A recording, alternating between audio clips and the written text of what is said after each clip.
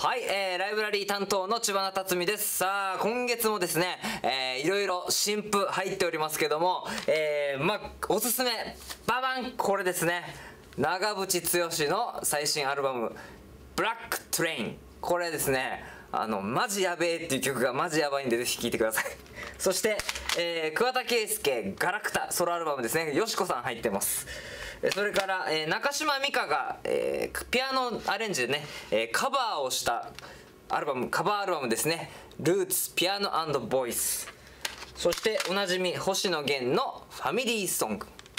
で飛ぶ鳥落とす勢いサチモスですね。新譜入ってます。それからこの山下達郎、さんのシングルなんですけどもこれがね映画「浪屋雑貨店の奇跡」という映画の主題歌であの劇中で出てくる、えー、門脇麦さんのね、えー、歌うバージョンも入っているという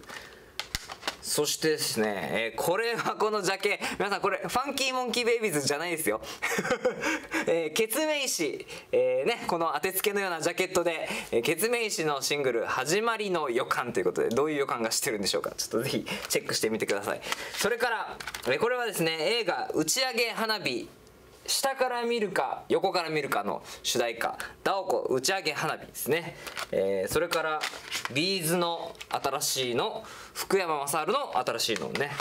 ありますけどもあとですね、えー、家島出身のアンリーさんね。えー、北斗七星という曲入ってます。アンリさんは、えー、10月27日金曜日ね、読谷村で100万人の平和コンサートという、えー、コンサート、えー、実は僕も出るんですけれども、えー、それにアンリさんも出演が決定しているということで、ぜひ読谷村の皆さんこれチェックしてください。ということで、ぜひね、えー、FM 読谷リクエスト、よろしくお願いします。